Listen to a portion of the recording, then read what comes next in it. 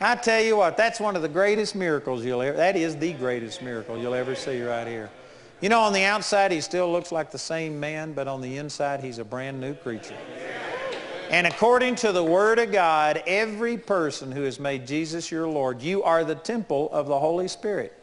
And this is important because this means that that's what he created you for, is to be a dwelling place for the Holy Spirit. So you don't, when we pray and ask for the Holy Spirit, I'm going to lead you in a prayer right now. And when we do this, you don't have to beg God. He created you to fill with the Holy Spirit. That's what you were made for. So he wants you to have the Holy Spirit more than you want to have him. So you don't have to beg. Some people will teach that you've got to be holy and that you got to get all sin out of your life before the Holy Spirit will come. He won't fill a dirty vessel. I want you to know God hadn't got any other kind of vessel to fill. Amen. And it's like I was teaching tonight the holiness, the good works are a byproduct of a relationship with God, not the way to relationship with God. So don't let some feeling of unworthiness stop you from receiving. God wants to give you the Holy Spirit. It's not a matter of Him giving. It's a matter of you receiving. Amen. So I'm going to lead you in a prayer, and I'd like to ask some of our Bible college students that are all around here to come up behind you, and they're going to lay hands on you because the Bible says that through the laying on of hands, the Holy Spirit was given. So these are all people who already have the baptism of the Holy Spirit, and they will lay hands on you and release this power into you. So I'm going to lead you in a prayer, and then they are going to lead, uh, lay hands on you and release this power into you. And then I want you to quit asking for the Holy Spirit and take a step of faith and thank Him that He gave you the Holy Spirit. Don't go by how you feel. Don't go by anything external because this is a spiritual thing and it's a matter of faith. Eventually, it will dramatically affect your emotions and change a lot of things. But right now, we aren't asking for a goosebump. We aren't asking for a feeling.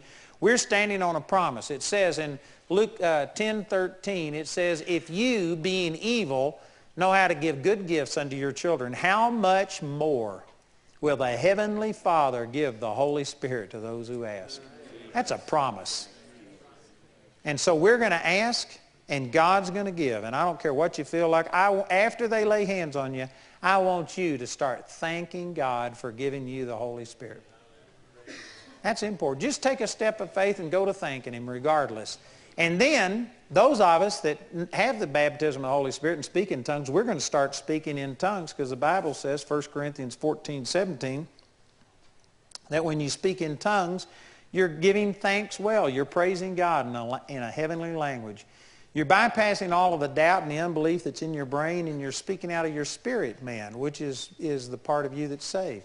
It's powerful. Anyway, I hadn't got time to explain it, but we're going to start speaking in tongues. And as we start speaking in tongues, I want you to quit thanking God in English and just start thanking Him in tongues. And I know some of you think, well, I don't know how to speak in tongues. It doesn't force itself out of you. It's like I said earlier. You know, if I would have stood up here tonight and said, oh God, speak through me and don't let me say anything that's not of you. And then if I'd have just opened up my mouth and waited on God to make it work, nothing would have happened. God didn't force me to say what I say. I believe he inspired it, but he didn't force it. I spoke. That's the reason it came out in Texan. That's the reason it came out with my sense of humor. It was me speaking, but it was under the inspiration of the Holy Spirit. It's the same thing when you speak in tongues. It says in Acts 2, 4, they spoke with tongues as the Spirit gave them the utterance or the inspiration. You have to speak and believe by faith that God is inspiring it. So don't just wait on the Holy Spirit to force you to speak in tongues. That's not how it happens. You have to, by faith, start speaking and believe it's the Holy Spirit. And I can promise you, after you get over the weirdness of it, the shock of it, the Holy Spirit will prove to you that this is Him inspiring it. It will produce great fruit in your life, and you can just speak in tongues. And it, it I've got a book I'm going to give you that will explain the whole thing, and it'll help you a lot. But that's what we're going to do. And if you're ready, you can speak in tongues right now. Isn't that good? The Bible says believers will speak with new tongues. I want you to say, I'm a believer. I'm a believer. And I will speak in tongues. Speak in tongues. Father, I thank you for all of these men. Thank you, Father. Thank you for this brother who got born again tonight.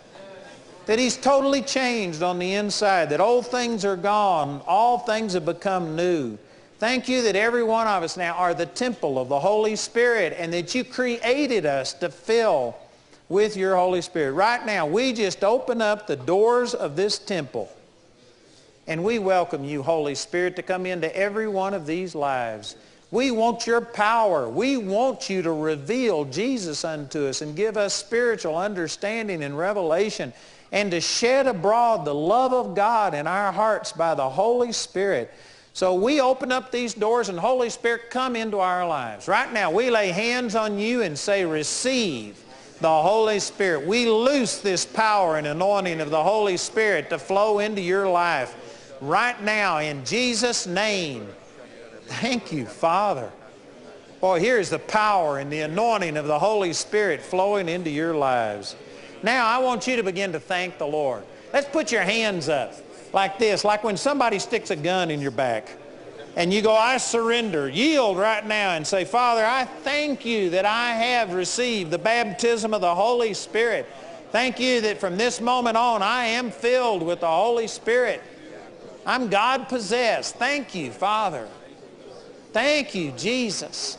Now, those of you that know how to pray in tongues, let's begin to worship the Lord and speak in tongues right now. And as we speak in tongues, you speak with us. Quit praying in English. You can't talk in English and tongues at the same time. And start speaking in this language.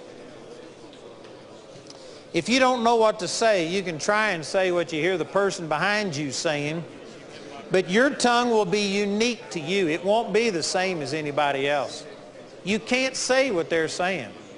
But it'll get you to talking if you try and say it. Just start, and then when it comes out different, keep talking. Keep talking and don't worry about what it sounds like. When a little kid starts talking, it doesn't sound like they're saying mama and daddy, but I can guarantee you that parent knows what they're saying. Your Heavenly Father is listening to your heart right now. He inhabits the praises of His people. Thank you, Jesus.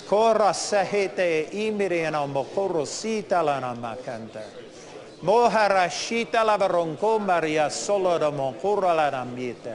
Speak loud enough that you can hear yourself. Talk. Don't be bashful with it. Just forget yourself and talk to the Lord right now in a language that the Holy Spirit is giving.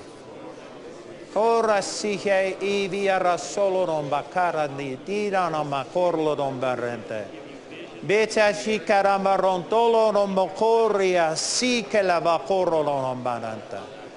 Thank you, Holy Spirit. Father, I thank you that you are helping people to verbalize, to release this power, to give voice to what you're doing in their life.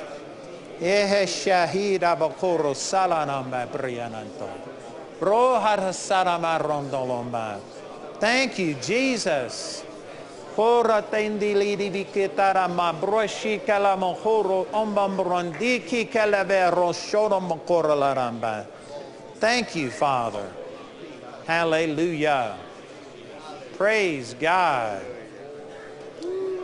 Let me have your attention here for just a minute. Many, many, many of these men are praying in tongues. Amen. Isn't that great?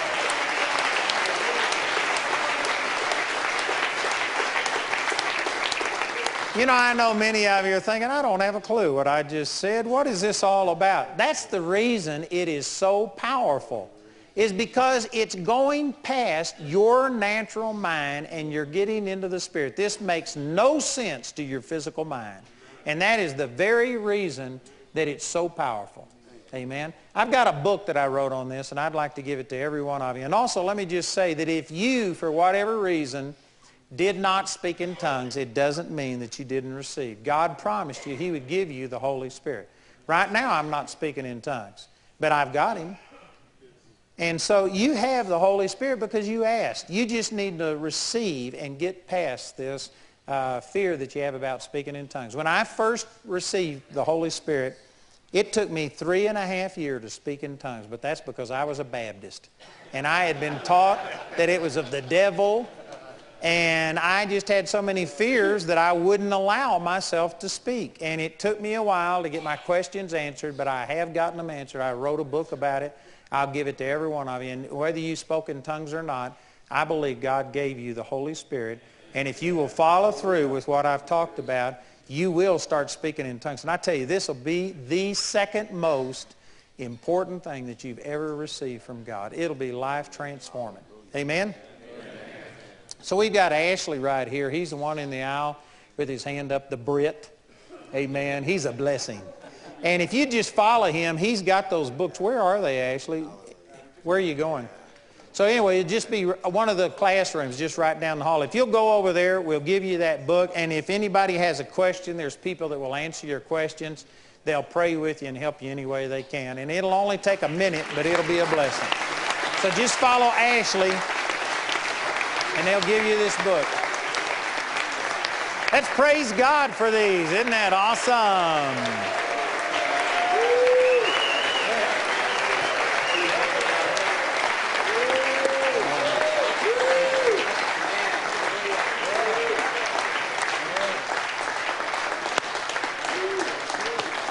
Praise God. I believe this is going to be life-changing. Life-changing. You guys are going to go back home and your wives are going to say, what happened to you? What happened to that man that left home? You'll be different. Thank you, Jesus. You know, I'd like to ask uh, some of our Bible college students here, if you would. I know that many of you may have come with needs, and we want to help you and minister to you, whether it's a physical need, a financial, emotional, maybe you are going through hardship, some, something happened, and any way, any way we can to help you. These people have been in school, some of them, at, at least the first year students have been in school for six months. The second year students have been here for two years. Some of them have three years or more. These people are full of the Word of God and they want to help you. If you guys would stand down here and turn around and face the group, this way we can pray for every person in here. I do not have to pray for every person individually. Jesus loves you. And these people, all they're going to do is agree with you. And I mean, they're stronger than horseradish. they are wanting to lay hands on someone. So if you want prayer for anything, I'd like to invite you forward right now and let you have one of our students here uh, pray with you. And I believe we're going to see good things happen. If you want prayer, come forward right now and let someone agree with you. The rest of you, I'm going to dismiss you here in a minute, but let these get out of the aisle and make their way up front first. And then I'd like to remind you that we are going to have some fellowship and some food and some things uh, down here, and so please take advantage of those. If you need prayer for anything, come right now. We're going to have somebody stand at the aisles that will direct you towards a person, and that way everybody won't just get on one side, but uh, cooperate and follow these directions, and praise God, we're going to see miracles happen.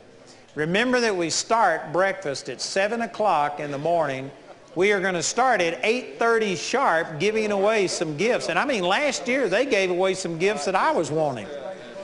These are really good gifts. You need to be here at 8.30 uh, to make sure you're here or you possibly could miss out on getting your name called. Amen. You're welcome to stay in here and pray with us, but we've got fellowship and food and snacks and things back here. So you're dismissed.